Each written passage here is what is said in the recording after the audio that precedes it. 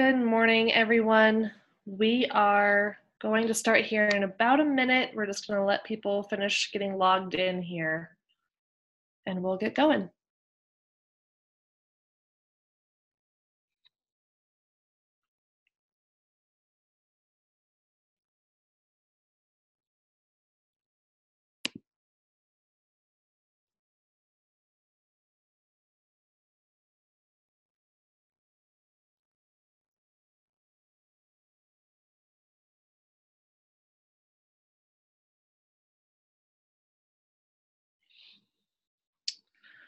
All right. Welcome, everyone. We are really excited to be bringing you this webinar today. Um, I'm very excited about who we're going to bring on to talk with all of you. Um, this is going to be very much more of a, a research focused webinar about workforce and community needs. A couple housekeeping items. Um, this webinar is being recorded, so we will send out the links to this afterwards. Um, it'll be available on Monday and then it'll also be available on the website. So um, you'll be able to get that as soon as we're done.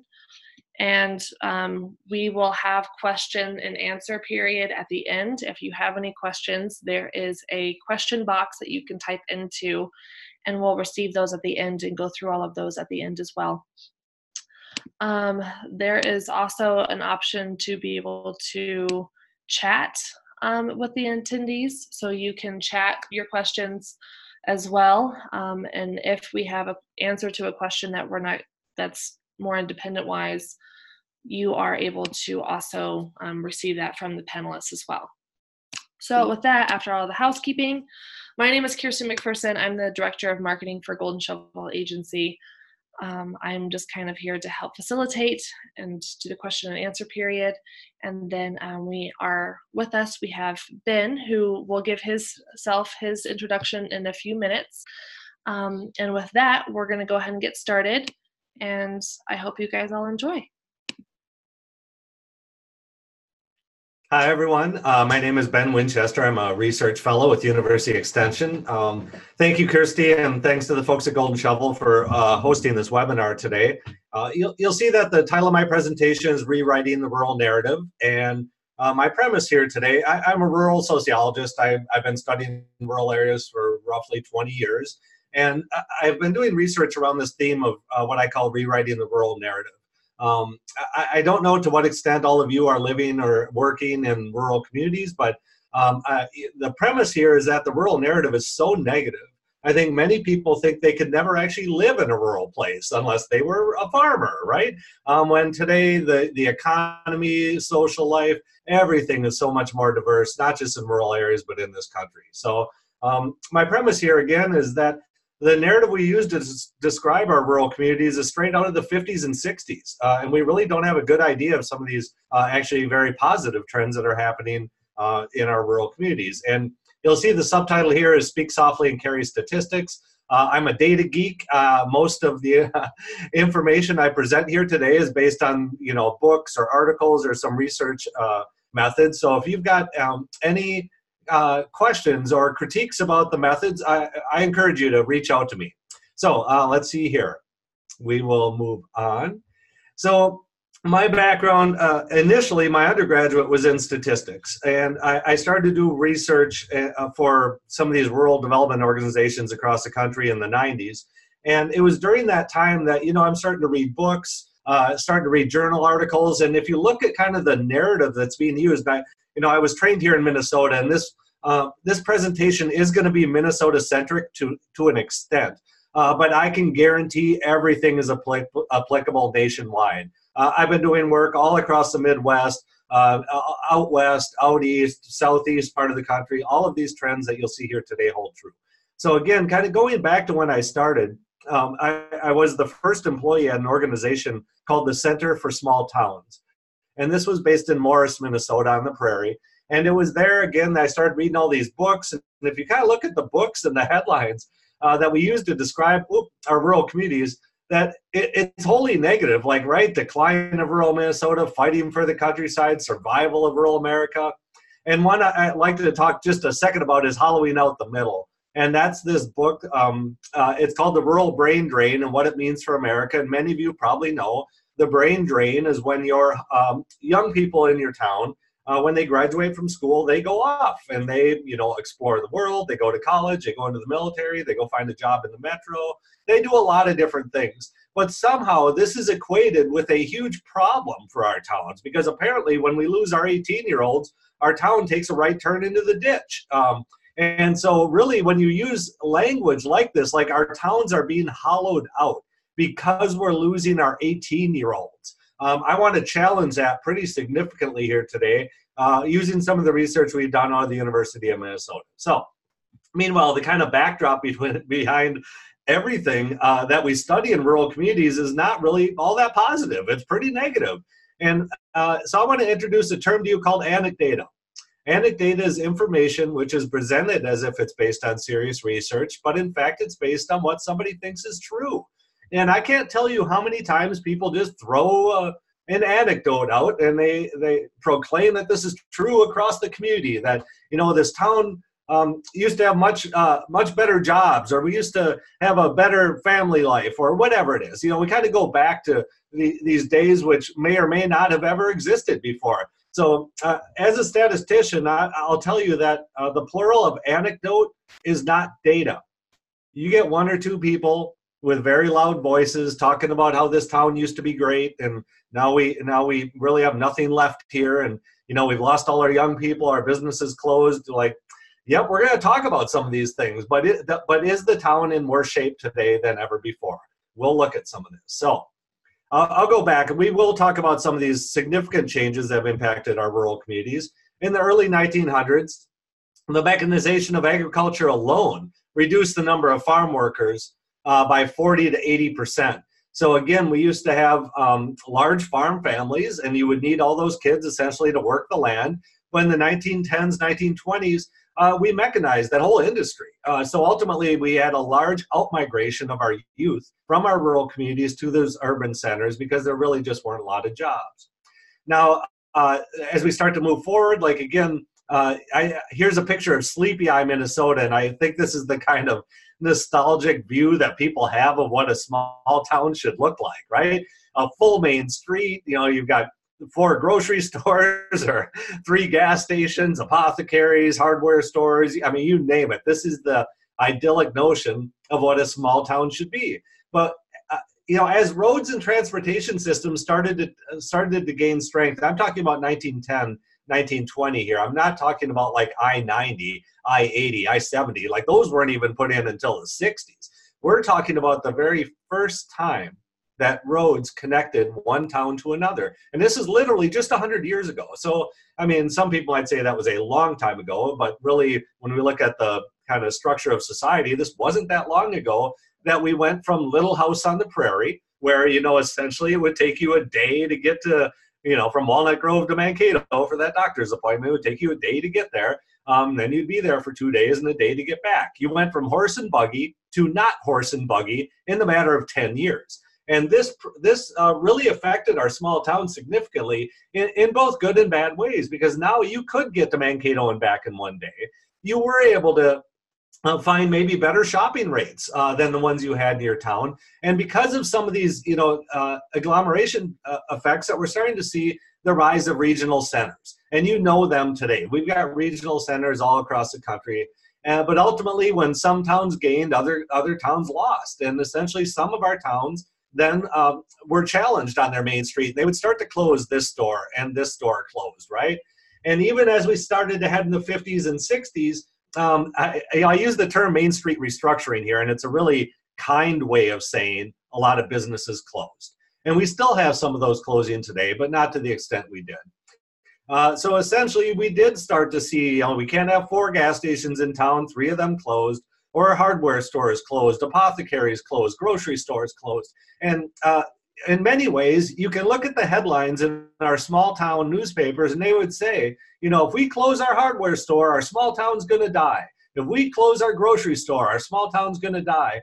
And the same for uh, school consolidations, too. You know, in the 80s, 90s, and early 2000s, a lot of rural school districts consolidated. And again, it was like, boy, if it wasn't for open enrollment, our school would still be open. Or if it wasn't for private schools, right? There's a lot, a lot of ration, rationalization that takes place when essentially that rationalization is not true. Same with Main Street restructuring, like if, oh, we should have shopped here more, right? Well, I want to remind you that every time you hear of a hardware store closing in a small town, one closed in the metropolitan area too.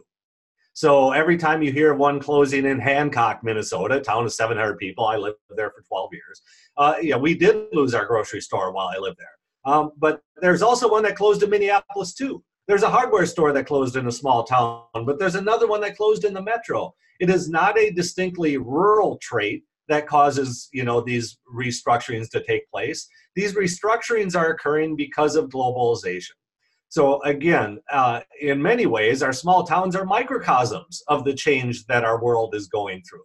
When we start to witness some of these structural changes, uh, we, we think that you know it's just another nail in the coffin. We lose our grocery store and school consolidations too. A lot of blame goes around, but essentially the top reason why our schools consolidated is not because we chose all of these bad, made all these bad choices, quote unquote. It's because of birth rate. When your kindergarten class went from 100 kids to 50 kids over 12 years, something's got to give. And that did give. Um, so essentially, you want to do something about school consolidations. Um, you know, start having pro fertility days in your small towns, and start encouraging more kid, more people to have kids in our small towns. But you know, we're not we're not really going back to those kinds of characteristics here. So. Um, I like the Mark Twain quote. Uh, so essentially, kind of going back to you know all of those major changes, you know, stores closing, hardware stores, grocery stores, our schools, right? All of them seem like another nail in the coffin of our small town. And we know this. Rural is dying. That is the headline about rural and has been for decades. Uh, but I, I, just want to remind you that I like the Mark Twain quote here rumors of my death have been greatly exaggerated. Um, rural areas aren't dying, they're changing. They're changing just like everyone else. So let's look at some of this, this data here. Um, Oh, oh, sorry. I, I just want to step back one for one more kind of piece of this narrative and how this narrative gets driven nationally and even locally. Um, I did a study for uh, the McKnight Foundation here in Minnesota uh, to look at how the metropolitan media portrayed rural Minnesota in general. And what we found is that obviously, and you probably well know this, that it, you know a lot of the stories covered things like plant closures or murders or tornadoes, and really, I mean, not positive things that happen in our small towns. But you know, as we uh, did the studies, one of the things I like to do is I asked reporters, like, what time of day did you go to DeGraff, Minnesota, or what time of day did you go to Hancock, right? And the average time of day the metropolitan media got out of the metropolitan area and to our small towns was between 10 a.m. and 2 p.m. Well, who are you going to find in your small towns between 10 and 2 especially when we have had a major shift to working in regional centers as opposed to every small town you're not going to find many folks so meanwhile the reporter goes up and down main street and what do they see but a boarded up building where the apothecary used to be uh, they might see a boarded up school right and, and it just reaffirms in his mind that this idyllic notion of rural is dead and that there is nothing left. So what does the reporter do? You go to the cafe, and who do you find in the cafe? The retired farmers who talk about how life used to be, and we used to have this, and we used to have that, and we could have had, and we should have had. And like this becomes part of the narrative of that town.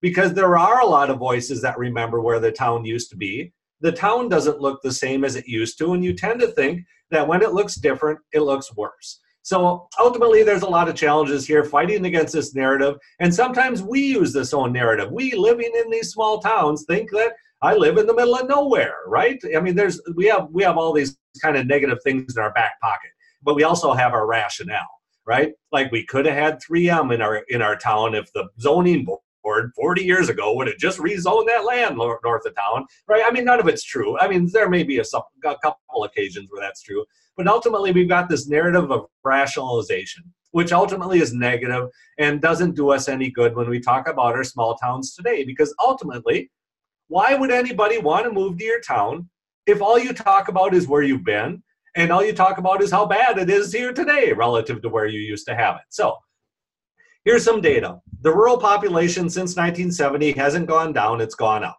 It's gone up by 11%. Uh, what's gone down is the relative percentage of Americans living in a rural place. So in 1970, one in four people lived in a rural place, but by 2010, that went down to one in five. And how can that be, right? I thought the rural population went up. The rural population went up by 11%, but the urban population went up by 50%.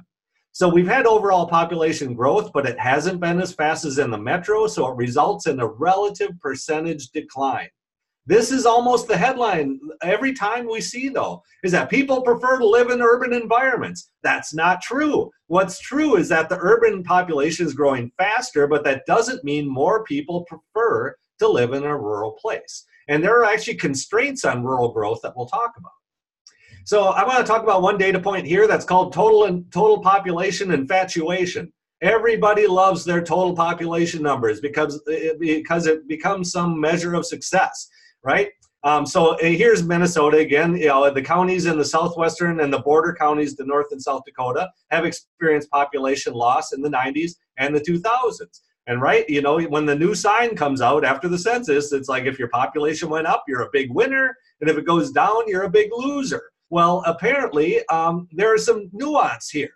I, I want to explain to you why total population, I want to really encourage you to never use it as an indicator for success because it, it clouds over all of the actual change that occurs in our rural communities. So I want to talk about one region in, in Minnesota here. It's a five county region uh, in western Minnesota. It's on the prairie. And if you use total population, their total population went from 69,000 in 1960 to 45,000 in 2010, a loss of 35% of the people.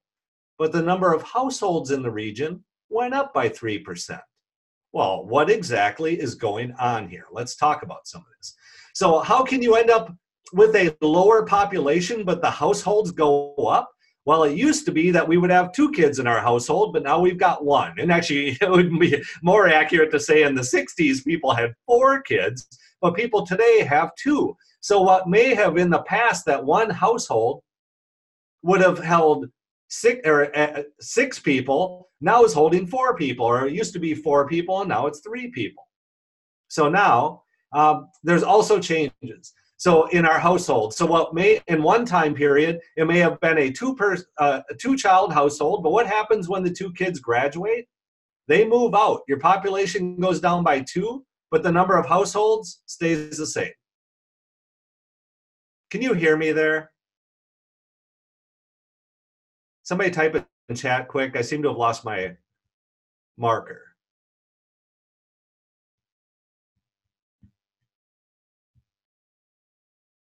Okay, you can hear me. I'm not sure what happened to our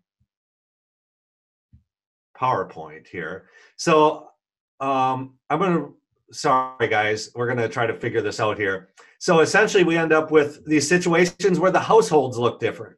Um, so everybody you cannot see the powerpoint anymore right?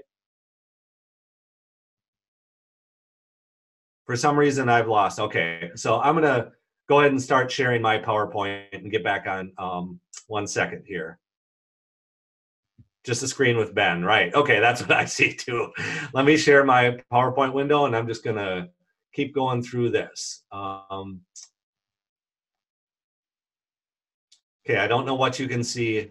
Oh, shoot, now I can't see this window either. Hold on one second. Okay, do you see my, uh, it is back now? Is that uh, my PowerPoint here that you see? Yeah, okay. So I'm gonna get back to my spot here. Okay, so hopefully this looks okay for everyone. Um, so essentially, again, we go from uh, what happens to this household is that you may have had, again, two kids graduate. And then, uh, so what happens in one time period is you counted four people, but in this time period, we're counting two, right? So what happens? Your population went down by two, but the number of households, there's no change. But showing double, yeah. Um, let me try to swap these. There, how about that? Does that look better?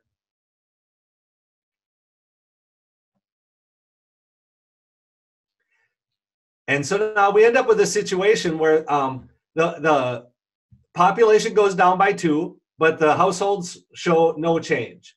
Now, if we go to the next slide, again, what happens if you have a senior household and one of the seniors passes away, but the remaining spouse stays there.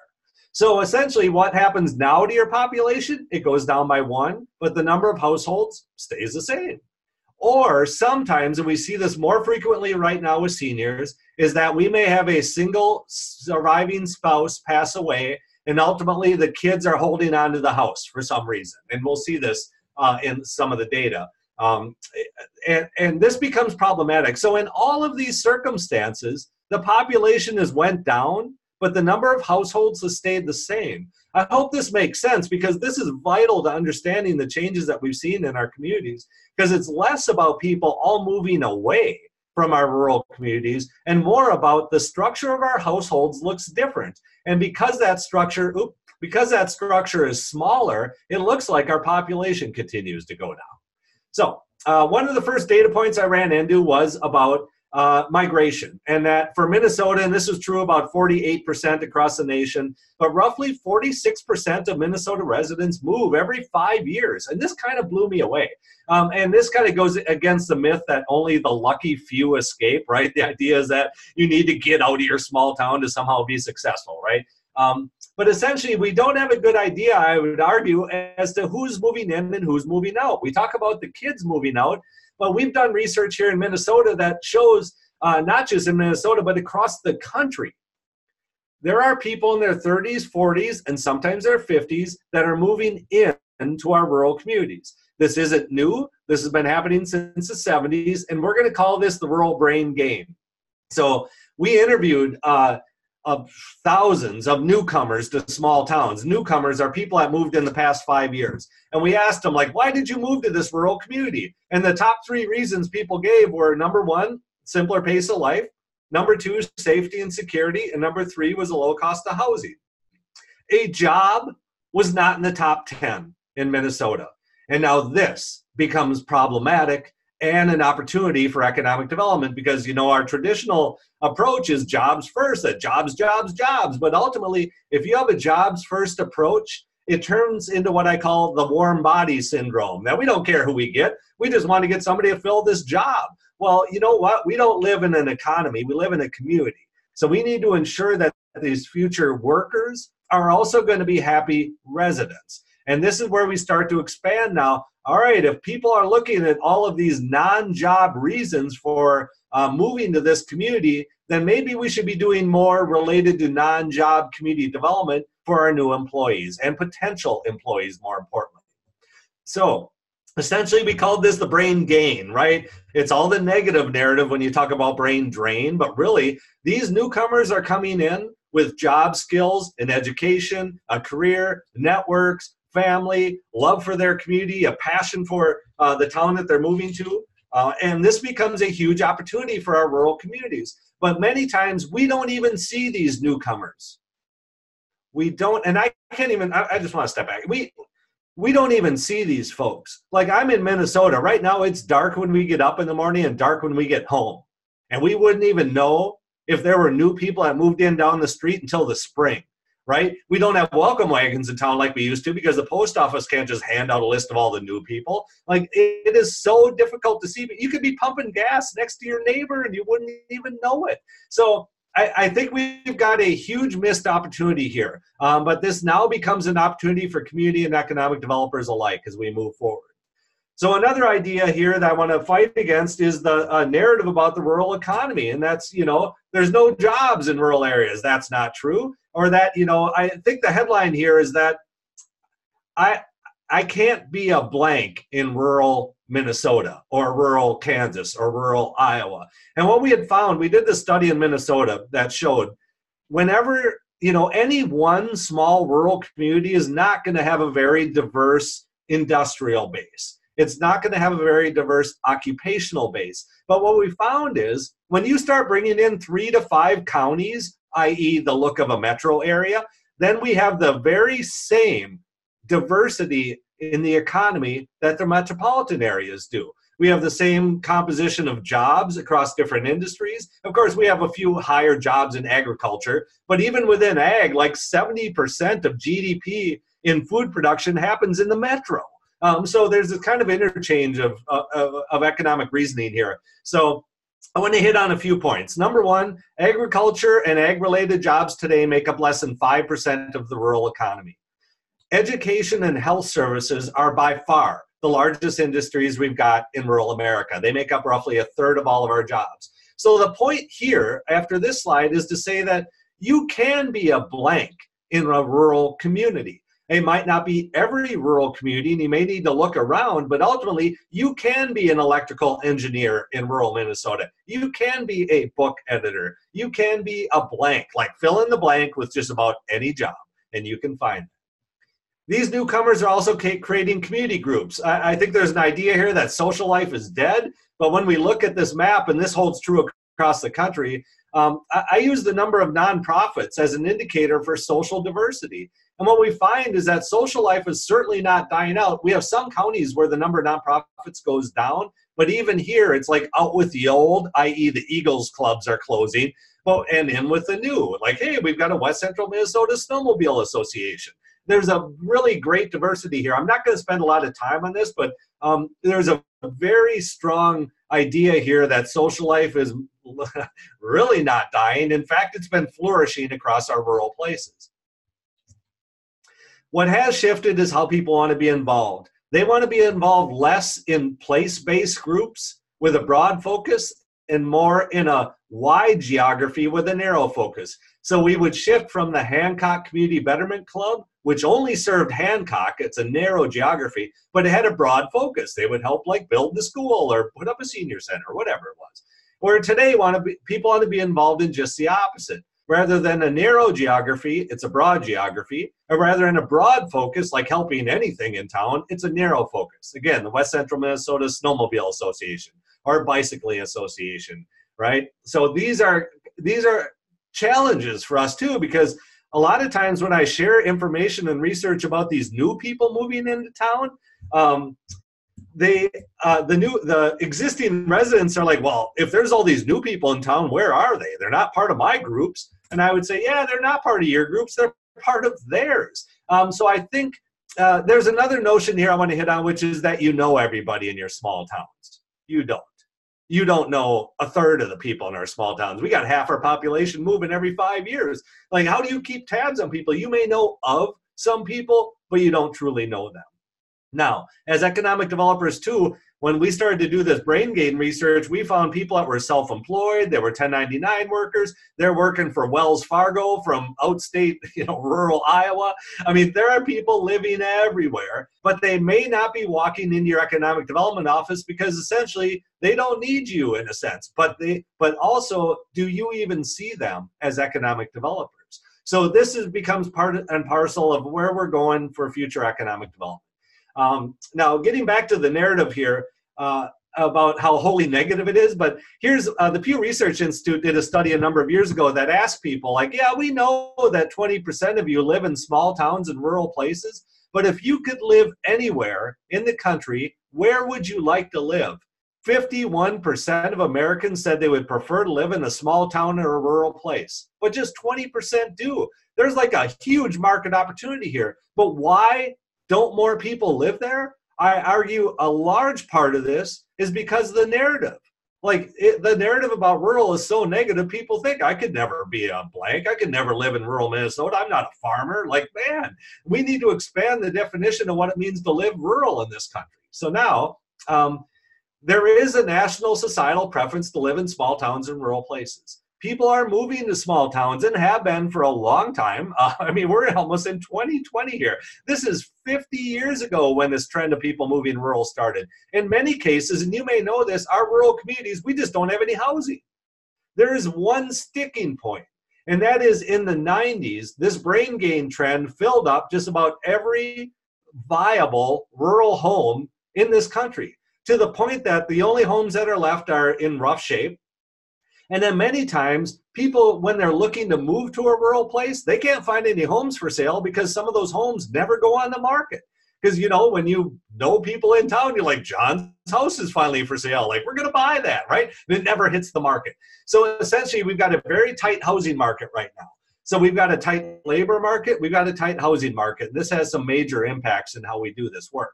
So meanwhile, as we talk about this, um, this kind of we call it people attraction strategies. And it's a it, it's a mix between housing, economic development, and community development because ultimately you see now, very brief, albeit a very brief review of this research, that if the top reasons that people choose a town are not because of the job, how do we work through this, right? So eh, we're, we're going to be, we are already in the tightest labor market we've ever known in this country. So now uh, employees are going to have a considerable amount of power. And they're going to say, I can move up here, I can move right here, and I can move right here. What's going to be the difference between those three locations? And if all we do on the employee recruitment side is like do a tour of the shop floor, and you're like, here's the shop, and here's the tools we use, and here's the people you work with, right? Well, that doesn't tell you anything about where people are actually going to live.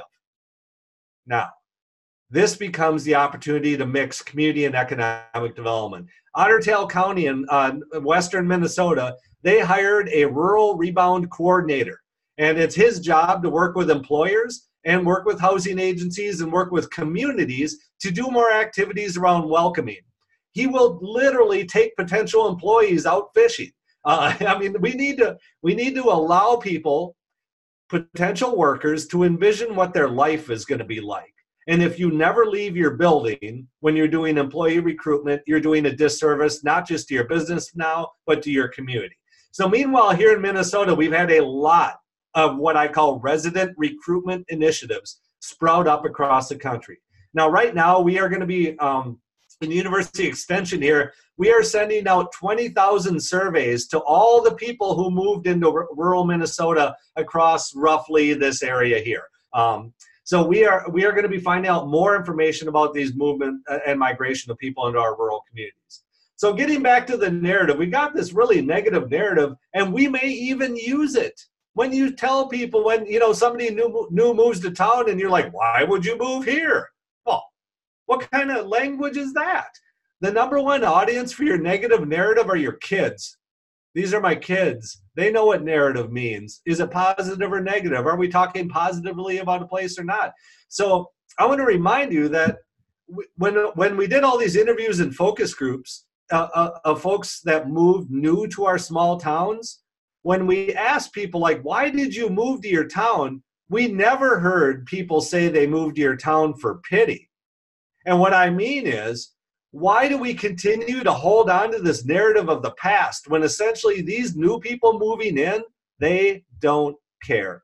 They literally don't care that you lost your grocery store 25 years ago. They don't care that you used to have a large manufacturer or timber industry 40 years ago right? So if you are not talking positively about what you have today, you're not going to be really speaking their language. And so hopefully, I mean, I have briefly went over some of the research we've got that shows very positive trends, but this means that you don't need to be seen as just some Pollyannish person living in a small town. That essentially there are good reasons to live here, right? We live in the middle of everywhere, not the middle of nowhere. So um, we need to find a way to be a bridge to the be, to the people and the community. There's a labor shortage, tight labor markets. What does this mean? Economic development needs to incorporate housing and community development to be successful. Economic development strategies to inco- incorporate people recruitment. Um, uh, we now we are hitting this housing shortage limits migration.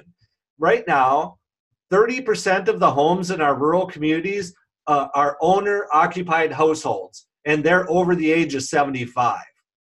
30% of our homes are occupied by seniors that are not going to be living there for much long. So in many ways, I whenever I hear like there's a workforce housing shortage, I say there's not a workforce housing shortage. You have plenty of workforce housing. It's currently occupied. So there is another presentation I do and research I do around housing and that essentially we live in and we have a policy of uh, living in the world of best intentions when it comes to our housing stock when uh, we kind of you know leave all the housing stock decisions up to the private individual but, but I, I just want to say that housing stock in your community is a community asset as much as it's an individual asset because people come and go out of those homes so are you ready to welcome in the new wave of people. Again, 30% of your homes are going to turn over in the next 10 years. Are you ready for it? Another 45% are baby boomers. A full 75% of your homes are going to turn over in the next 20, 25 years. And are you ready for it? How welcoming is your community? So now that I've said this, you can't say you don't see this coming. All right. So really, and again, get beyond total population and number of jobs as measure of success, because ultimately, um, if our homes continue to be occupied by baby boomers, they're going to continue to retire. So, you know, there's a limit on the number of homes in our community. So, essentially, when these baby boomers stop working, our employment numbers are going to go down. But that's just limited by our housing. It's not because fewer people um, actually want to work in that community. So, uh, kind of stepping back here, there's a choice that people are making. People are choosing to live in our rural communities. And these newcomers are creating groups they're building their community, they're diversifying the economy, they're buying and starting businesses, some are working from home, they're living in this huge region. And what I mean by this is, um, I call it living in the middle of everywhere. That most of the time, all of our planning, you know, all of our ED agencies, they're either county or city based. But the reality of rural life is you don't live and work and shop and play in just one town. We live in a huge region that extends up to one to two hours out. Um, uh, like I lived in Hancock and I didn't want to eat at Buddy's Bar and Grill every time we ate out. We ate out at a dozen different towns in an hour radius around that small town. So uh, essentially thinking about what does that mean when most of our planning gets done in at a you know city jurisdictional level, but that's not how people live their lives. So now if you cannot help people realize what their life would look like in that regional perspective, you know, and get outside of your town, you really will be living in the middle of nowhere if you can't express uh, some of the assets in the region. And really, people are more than warm bodies. So the bottom line is people want to live and move to your towns for what you are today and will be tomorrow, not what may have been.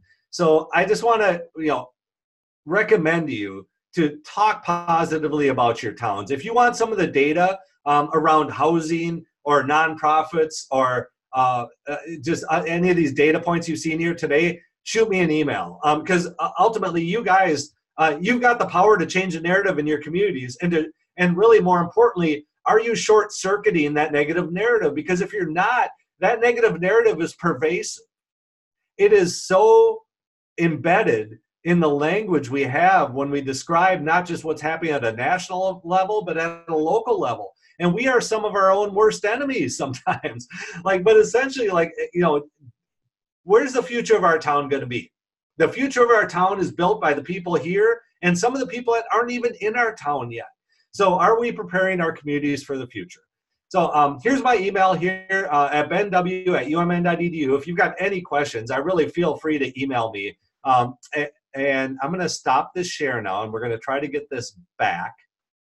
I'm not really sure how to do this. You can keep up with yours if you want. I can bring it back on as well. Yeah, why don't you bring yours back on? I think I've relegated. So it just really, again, thank you all for the uh, time and attention here today. And if you've got any questions, please feel free to reach out to me. Perfect. Okay, I'm not really sure. All right. Yeah, give me just a second. It's uh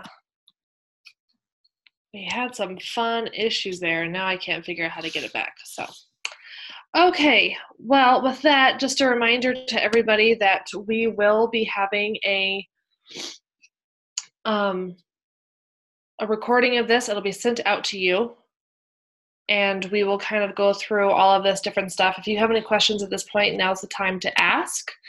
Um, and then let me pull up the emails real quick.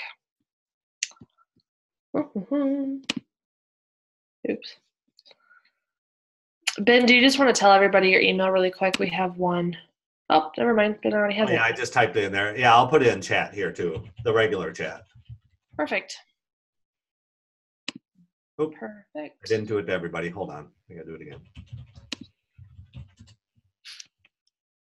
All right. And then is there any other questions from anybody?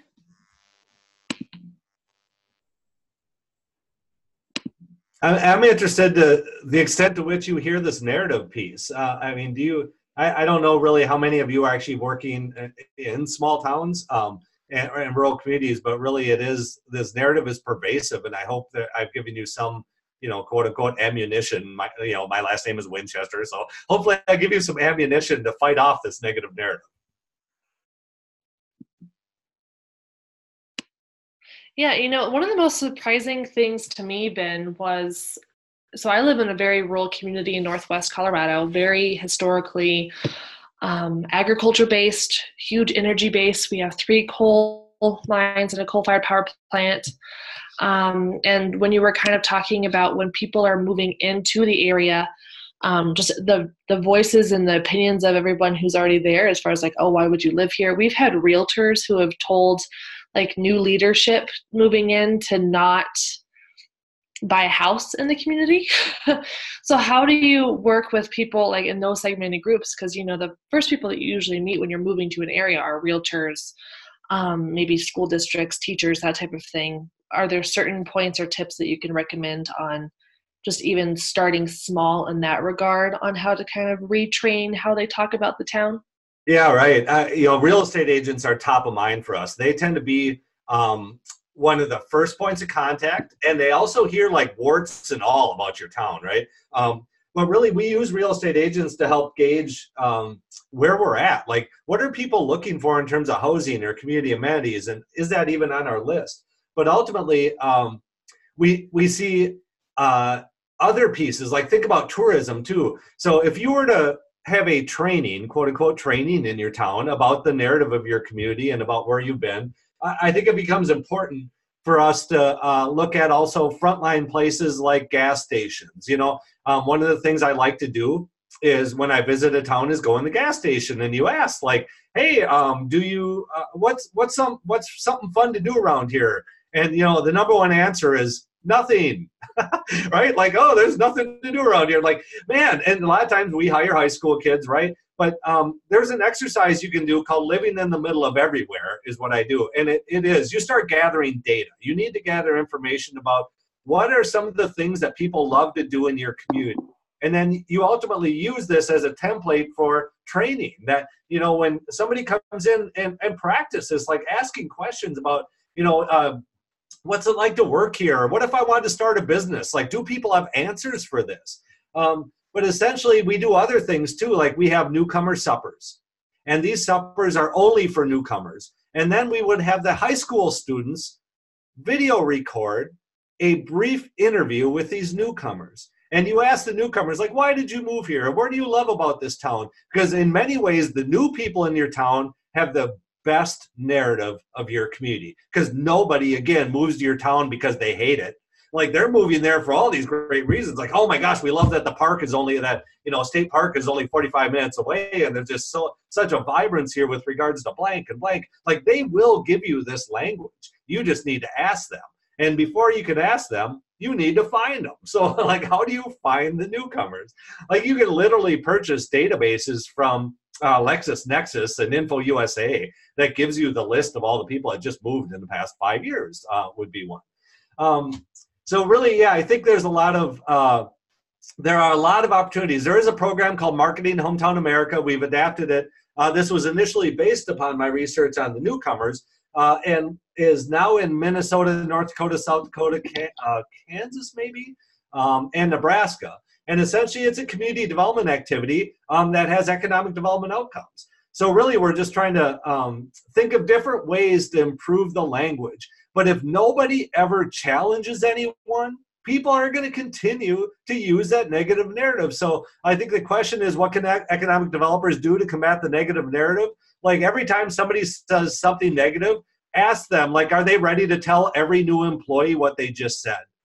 Like talk about you want to you want to quit i mean you have to the mark of a good leader is making strong statements. And if you publicly challenge some of these narratives like yeah this is going to be a problem point. Like i can't bob i can't continue to have you talking about how terrible this town is because we want new people to move here. And sometimes i will say that um, are you ready to never sell your house like for the people that have negative narratives like right if they plan to retire and move away or go to the lake house or whatever like are you ready to not get a return on your home because you you for whatever reason don't like this place anymore um, it it's a lot of work. Uh, you tend to hear that negative narrative, but it's just a shift in your dis- in talking. But hopefully, um, again, some of the information I presented here, this brain gain trend has been going on for 50 years. So when you start bringing up serious research, this counters that negative narrative. And if you want data on the presence of nonprofits or things, let me know. Um, so let's see, I'm just going to go through the comments here.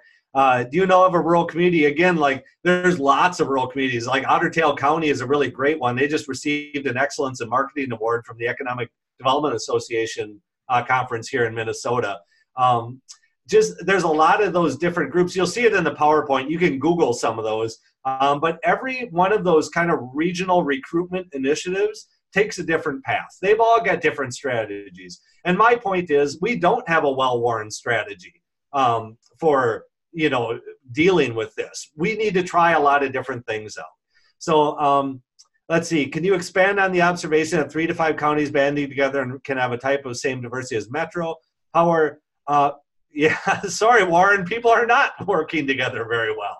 Um, I, I want to remind everybody that our county boundaries were drawn during a time of horse and buggy, and somehow they are still relevant today and uh, lead to many more difficulties than I would argue we need. Uh, we see some regional work around you know mental health, uh, but every time we talk about like a regional jail, it seems like everybody wants a jail, nobody wants to be the partner, right?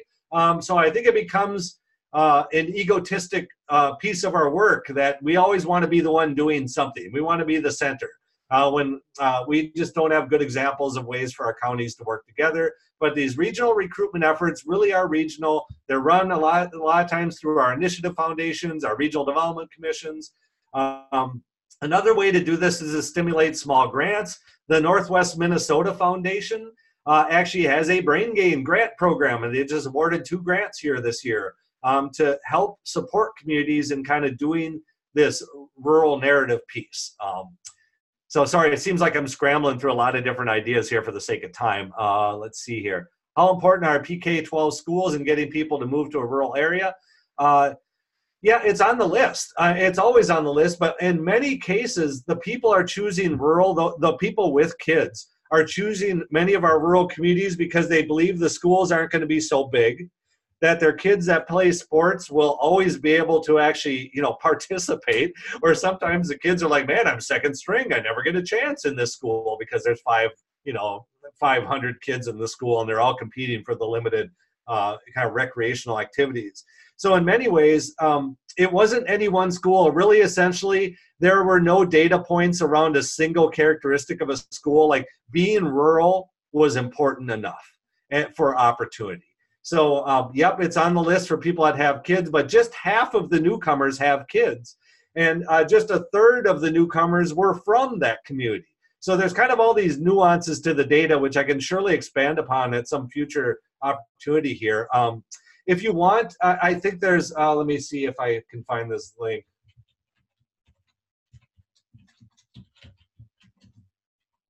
Yeah, here we go. Um, so there's a sign up. I'm going to put in the link here for a webinar series uh, that I do that will be offered this summer. I think that's it. You should go to a sign up piece here. Um, we're going to have up to five webinars in this series to talk about uh, these traits in more depth. What you have seen today is an extremely abbreviated version of, I think, all of these pieces. Um, so if you want to sign up there, um, feel free to do that uh, we'll be starting that, uh, getting that notice out here soon. So, uh, is the Marketing Hometown America report available online? Um, let me find. Sorry, I'm Googling things here quick. Um, here's a link to our landing page for the Making It Home program if you want to read more about this. So other questions here today?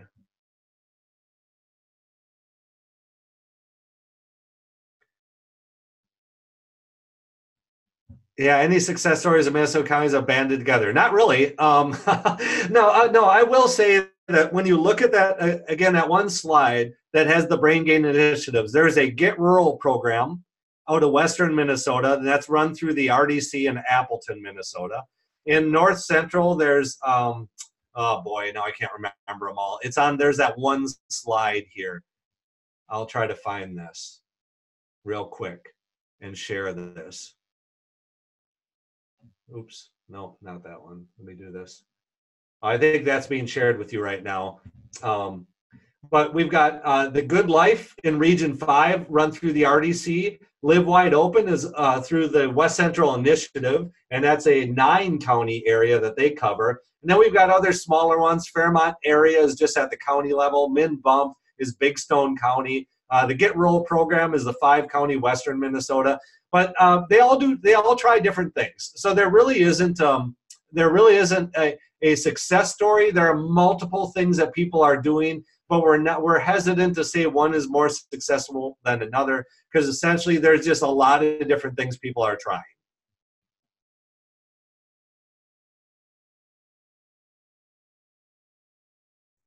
So other questions or Kirsty, if you want to jump in here. All right. Well, I don't see any other questions coming up. Um, this was definitely very interesting for me, so I really appreciate you coming in here. Um, and we hope we're going to definitely bring you back again. This was great. Thank you so much. You Um, I will leave it open for another couple seconds. I don't see any other questions. Um, again, just for everybody, you'll receive the recording for this webinar. Um, we'll make sure that we attach Ben's contact information as well so you can get a hold of him and hopefully you can get a hold and sign up for the webinar that he posted about as well. But Ben, thank you so much. This is really interesting. You bet. Thank you. Have a nice day there, everyone.